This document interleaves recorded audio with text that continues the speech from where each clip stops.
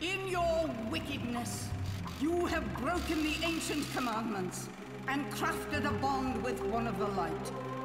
Our laws are clear. They demand you be eternally imprisoned.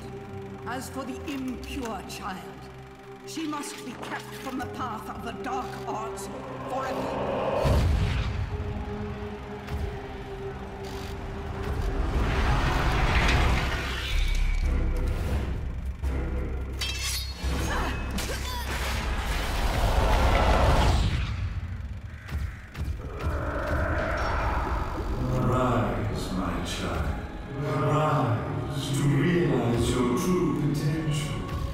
unleash your power. and the